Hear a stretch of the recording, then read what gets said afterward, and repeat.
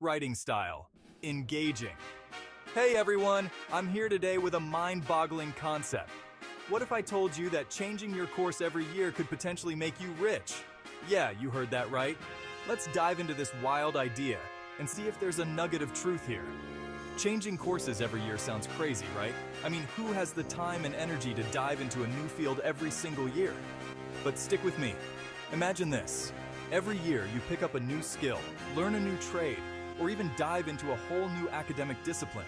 It's not just about collecting degrees, it's about amassing a diverse skill set. Now let's break it down with a fun twist.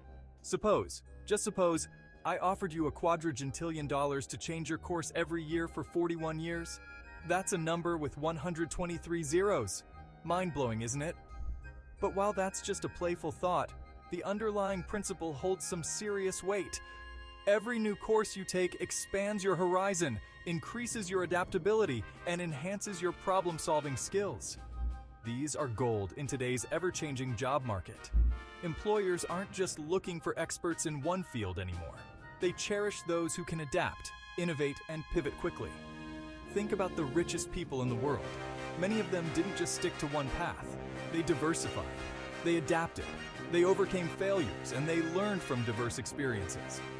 This doesn't mean you have to be a jack of all trades, but being well-rounded, that's a treasure in itself.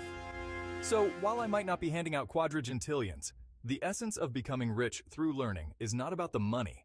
It's about enriching your life, broadening your perspectives, and yes, improving your financial stability through diverse skills and knowledge. What do you think? Would you accept the challenge to learn something new every year if it meant a richer, more fulfilling life? Drop your thoughts in the comments below.